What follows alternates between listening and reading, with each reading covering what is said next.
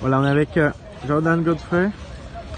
Hi Jordan, how are you today? Doing well, thank you. We just got finished up with our first practice round on Al Maaden too. It was nice. Yeah, what do you feel uh, about this, this course uh, this morning?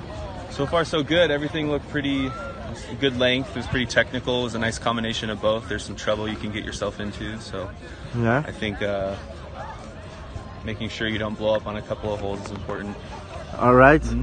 And uh, how do you feel the, the United States team uh, for for this World Cup? What do you feel? Pretty confident. We, um, I mean, we're, we're the defending champions. We have like a lot of new faces. Um, I think our team coming in is uh, just as strong as our last one, if not stronger. So we're all feeling pretty good, pretty confident. So maybe the second stars. Yeah, hopefully that's that's the that's the team goal for sure. All right.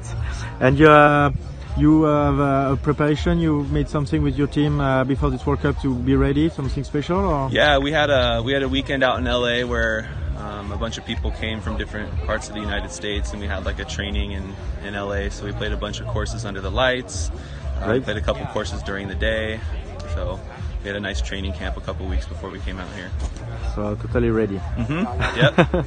and have you met some players this morning you never know and you you you have seen they're, they're pretty good and they can do something or Yeah, definitely. Um, I mean, this is this is the the perfect stage because you get to test yourself against everyone that you don't normally get to compete with.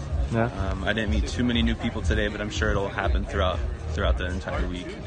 okay let's see that for tomorrow thank you Absolutely. Thank Have you. a good day, Appreciate it. What was your name? Nicholas Nicholas Jordan. Nice to meet you. nice to meet you